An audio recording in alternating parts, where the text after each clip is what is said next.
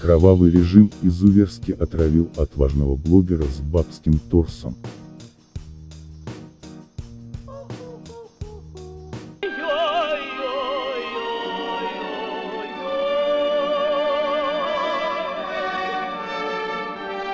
Скорбь в рядах людей с прекрасными лицами по всему миру безмерна.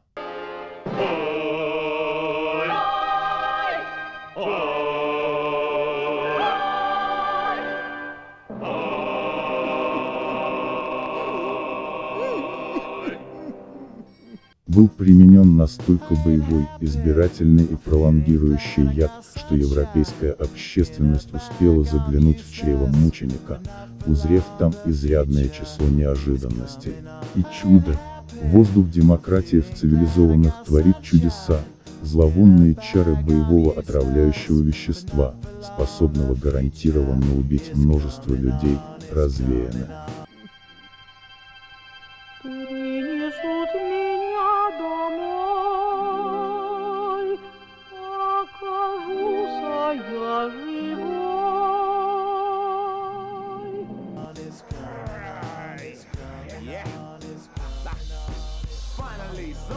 Ребятки, ежели нужно реально кого-то убрать, то человек умрет от естественных причин или обстоятельств.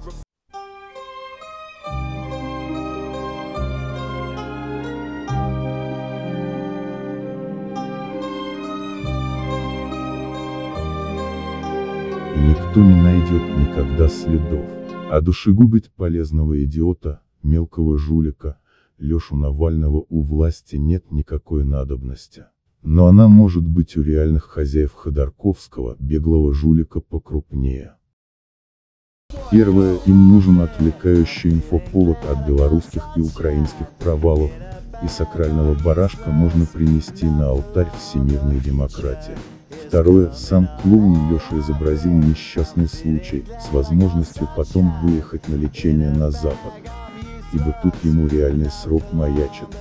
А после его слов в адрес Усманова участь Леши в местах не столь отдаленных была очевидной даже ему, кукольному лоху. When marimba rhythms start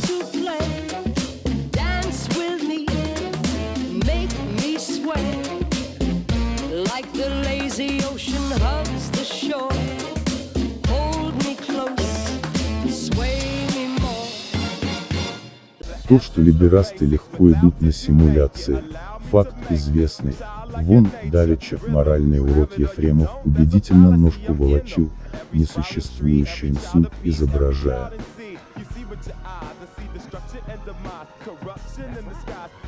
В России путем неестественного отбора шустро вылился вид борца за светлое будущее с темным настоящим истый либерал, он же усердный и назойливый проповедник западных ценностей, он же страстный любитель парадов в перьях, он же считающий Россию излишне крупной землицей, кою надобно слегка раздробить.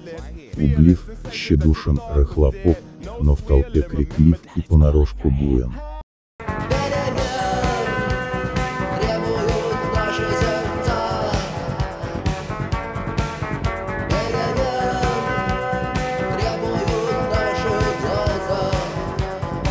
Наиболее пылкие представители этого вида сформировали костяк российской несистемной оппозиции, которая в своей запальчивости выдвигает тезисы из письма в спортлото. Да и Запад выказывает стойкое усердие с мифами про злую и коварную Россию, отыграв феерическую чепуху с якобы отравлением Скрипалей с аргументом на уровне камланий племен туземных, у нас есть доказательства, но они секретны. Цель понятна – бесконечное формирование информационных поводов для экономического и политического давления на Россию путем санкций. Утретесь, ребятки, Россия живет под санкциями уже не одно столетие, и периодически выписывает люлей туристам, которые от словесных наскоков переходят к военным экспансиям. tonight. So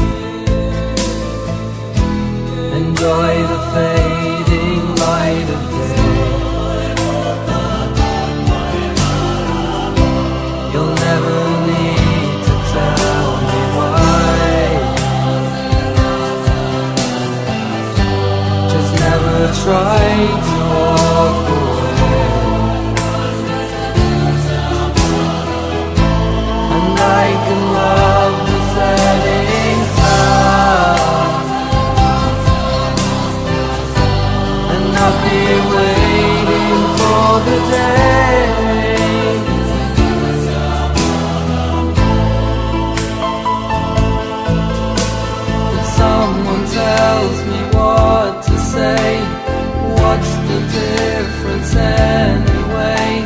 I try to find the time of day that's intimately mine. Freedom for my mind, the ending of the journey into night. So ends another day.